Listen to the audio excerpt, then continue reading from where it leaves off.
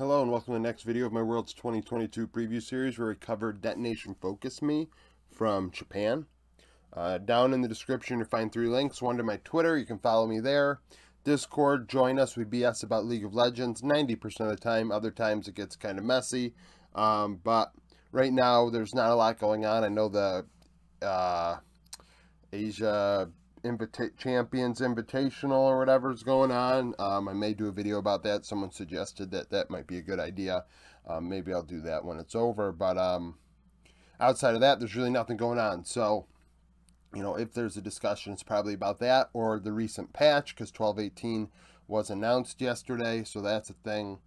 Um, so join there. We do have a space for activities category. There are predictions there. The predictions channel will be used once games start.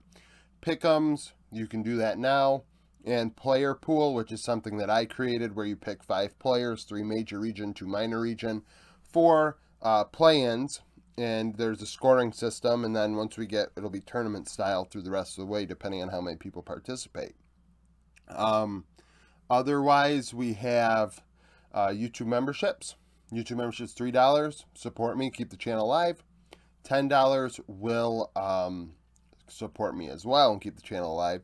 But also you get extra content. You get um, extra videos, my predictions for the winners of games the day before they come. The games are going to happen, as well as NFL predictions. Um, I will say I did not do well on the NFL predictions week one. Um, trying to do against the spread and over under. Against the spread, I did downright awful. Um, over under, I was like I think eight and seven or seven and eight, but um, against the spread was bad. I was like five and ten. So take that for what you will. Um, fantasy football stuff as well. So if you like extra content and you enjoy my channel, support me in whichever way you feel comfortable, even if it's just subscribing, liking the video, sharing it. Um, I'd really appreciate it. Um, now, for DetoNation FocusMe, just one second.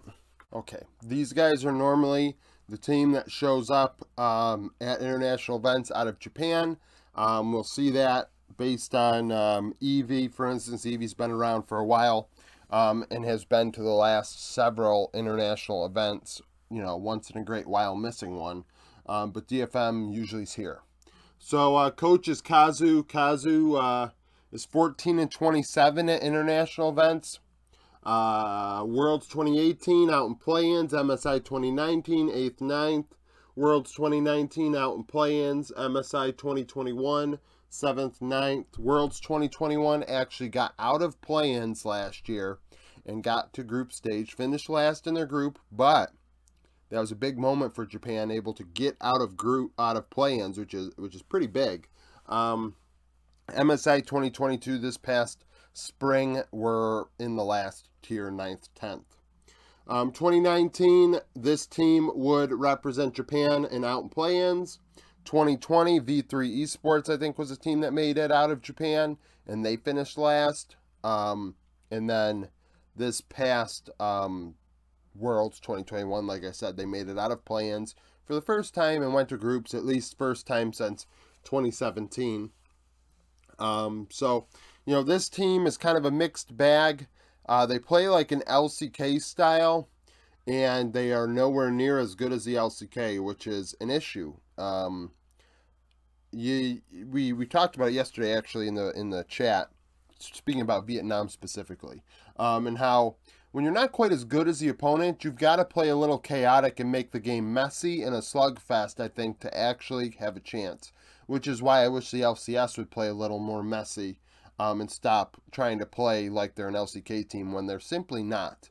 Um, it's just like DFM. I mean, I mean like Saigon Buffalo for example. I haven't watched a lot of GAM Esports. I only watched a few of their games against Saigon Buffalo. But I'm like, if they can be as I said disrespectful, but disrespectful in a good way towards their opponent and really get after them and say, okay, you might be better than me, but I'm going to get after you um, GAM Esports has a chance because they are really mechanically very good.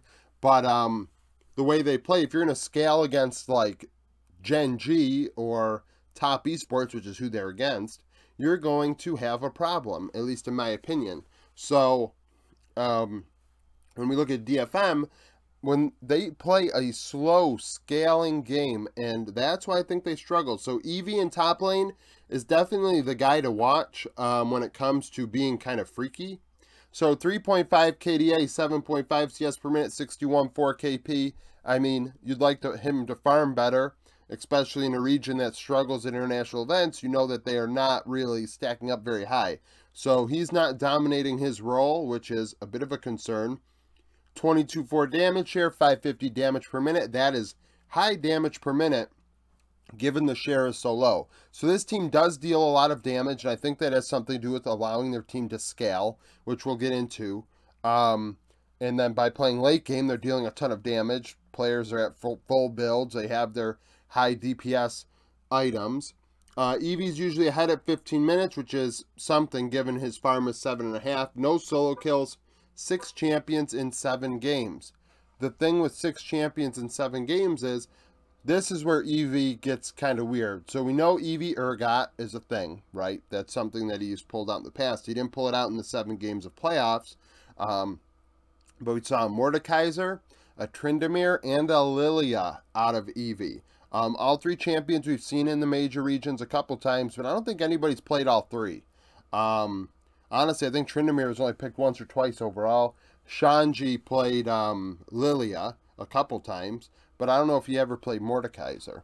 So Evi has a, a few tricks up his sleeve. Uh, MSI 2017, they would finish last. Worlds 2017, last. Worlds 2018, um, would get past the first stage of play-ins and then get knocked out. MSI 2019, last year. Worlds 2019, uh, bottom tier, MSI 2021, bottom tier, Worlds 2021 out and play-ins, MSI 2022 bottom tier. So Japan tends to be in the bottom, um, except last year Worlds. If they can go on another miracle run, who knows? 15 and 36 international events, 154 KDA, 722 CS per minute, 60.6 KP. Like I said, Evi does struggle, definitely in lane, 7.22 uh, CS per minute is not good at all. Um, his advantage is the fact that he has weird counter picks that might be able to keep him in lane, um, keep him in it. Maybe he gets a solo kill, maybe get creates pressure, does something, but those farming numbers are are a struggle. And he's been playing for a long time, so that's what's going to happen. But most of the time, it is in play-ins. So you're against what?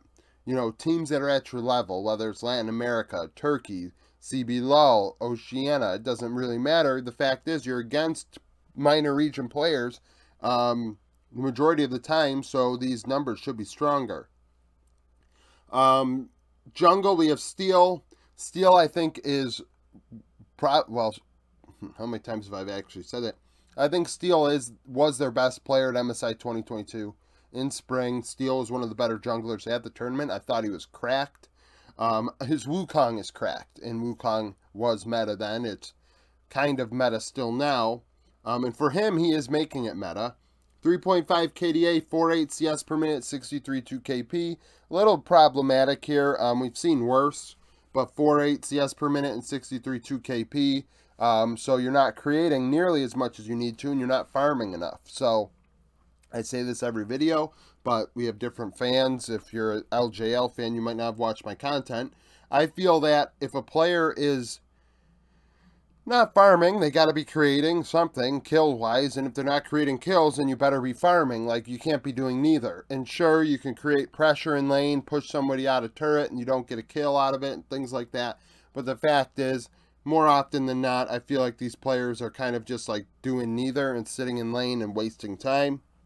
Um, so you'd like that to be a 70% or at least a 525 CS per minute. You see other players pulling it off. So if you're in a minor region and you're the best minor region team, you should be pulling it off. Um, 12-7 damage per minute, 300, um, 12-7 damage share, 317 damage per minute. That's pretty standard. Ahead at 15 minutes, which you don't see often. A lot of the junglers usually behind. Um, kind of surprising given the fact that his farm is so low. Um, one solo kill, two champions in seven games. That's a concern. Uh, he played a lot of Wukong despite, um, you know, Wukong being kind of off meta. Well, he's meta, but he's fringe. Um, five games of Wukong. Worlds 2018 um, would make it past the first stage of play-ins and then get knocked out. MSI 2019, bottom tier, Worlds 2019, bottom tier, MSI 2021, bottom tier, Worlds 2021, out in groups. And then uh, MSI 2022, bottom tier, 14 and 27, 177 KDA, 533 CS per minute, 69.5 KP. So at least the numbers um, internationally are better than the numbers we put up in playoffs. Obviously, past metas were a little more um, carry oriented in the jungle. A lot of farming till six, which gave um, junglers a higher uh, CS per minute. We're looking at sixes and things like that. And uh, Steal did that when it, the time came. We saw a lot of fives. Um, obviously, 5.33 being the average, so obviously it makes sense, right? Um, but I don't know how much this meta really fits Steal, because if he's still trying to force the Wukong, um, that could be problematic because Wukong isn't as strong as it once was, and um, this team needs to be, you know, in a good spot team comp wise to have a shot here. Um, so we'll see if Steal can follow up. With MSI performance was another good one here. Uh, mid lane, you have Yaharong. Yaharong um, has been being picked in our pickums, and um, it, for good reason. And this is where we kind of get into more about that scaling thing with this team. So 7 7 KDA, 8 9 CS per minute, 68 4 KP. Very high farm. Um, 8 9 CS per minute. I mean, 8.5 is what I think is like, okay, we're in a good spot, and anything higher is very good. And I know Chovy is up around 10, but not everybody. I mean, Chovy is Chovy, right? Um, we don't see a lot of people over 9.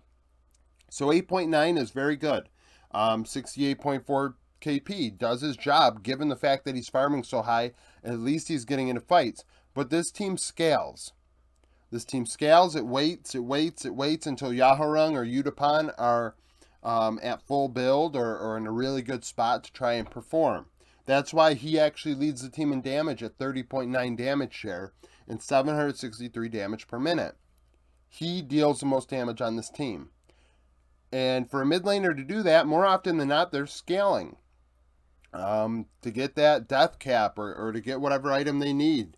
Um, the fact is, like, at 15 minutes, he's mixed. He's mixed because he may be trying to make something happen in the early game, but once mid game comes around, he is just farming and farming and farming. Um, three solo kills, four champions in seven games. Um, only performance at uh, international event was MSI. 1 and 5, 1.75 KDA, 772 CS per minute, 63.6 KP. So, um, 772 CS per minute is struggle street. I understand um, that was his first international event, and you'd like him to just get better over time, um, which is, I mean, 772 is bottom tier, so I would like to think that he can improve on that. But we have to keep in mind, I mean, maybe he was maybe he was a little outclassed in an international event, right? Um, farms very well, but when all you do is all you do is lane, if somebody's better at laning than you, they are going to force you away from the wave. You're going to get shoved under your turret. They're going to freeze on you. You know, you're going to get ganked and things like that. So um, that's a thing. I do remember him pulling out a Vel'Koz at MSI, so we have to keep that in mind.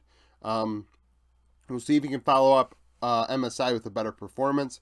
Bot lane, we have Yutapon. Yutapon did very well throughout playoffs. 9.2 KDA, 10-1 CS per minute, 72.7 KP excuse me, pretty standard. Um, bot lane has been getting high KP throughout um, all these videos, really. Um, you know, a lot of the action being bot lane, bot lane meta. Jungler has to make things happen. So, jungle, facilitator jungle meta, right? Um, sorry about the cat in the background. Um, facilitator jungle uh, meta with emphasis on bot lane, getting bot lane ahead. Um, 10 1 CS per minute, obviously dominant in lane, 9 2 um, KDA, doesn't die a lot, and that was evident actually in um, my stats, going through um, the stats for um, his international experience. 28 damage share, 690 damage per minute, which is pretty standard. 690, um, we've been seeing all the way up to 800, but we've seen some players at 550, so he's in the middle. Um, and Yaharong actually dealing more damage makes Yaharong and him clearly the two carries, and it's very close on which one's going to carry which game, damage-wise. Mixed at 15 minutes. Uh, Yaharong was mixed at 15 minutes as well, which means Uh, Games of Legends has gold, CS, and XP at 15 minutes. That means that at least one of those are negative. Um, that he's behind in one of those three categories at 15 minutes. Three champions in seven games. The likely party, Sivir, Zeri, and Lucian.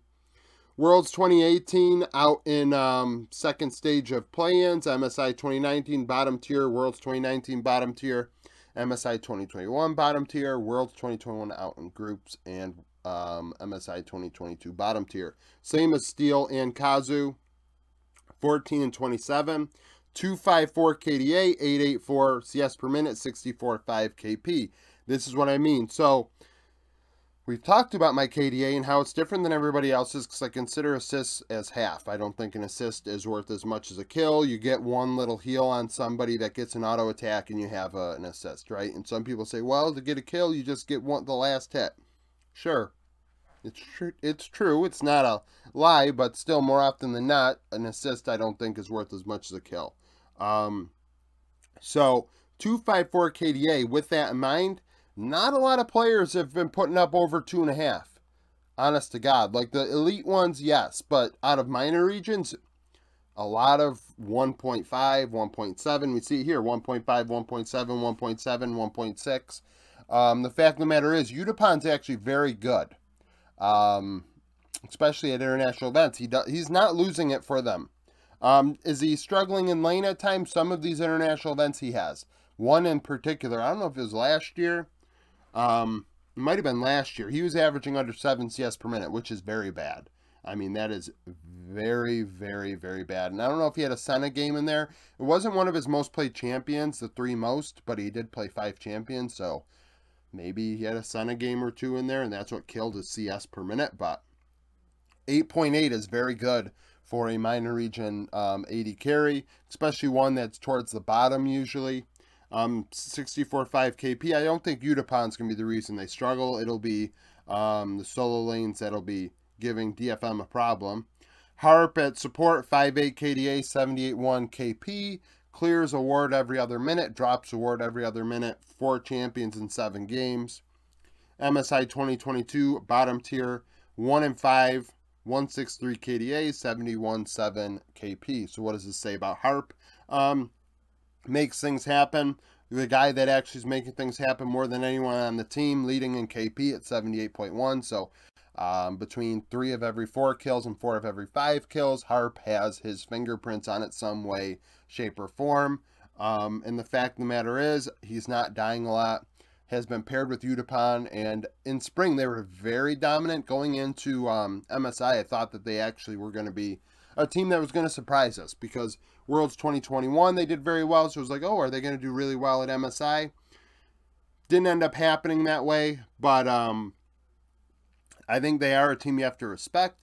And I for, if they're in Group A, this is going to be interesting because you have a situation where they can get to the second round of play-ins pretty easily. Group A only has Fnatic and um, EG, and then after that, four minor region teams. So there is and and I mean it's beyond gaming, DFM, Chief, and Loud maybe. I might be missing somebody, so if I am, I apologize. But the fact is, I think it is for the taking to be able to get to second stage of play-ins at least. Um, this team is certainly capable of that.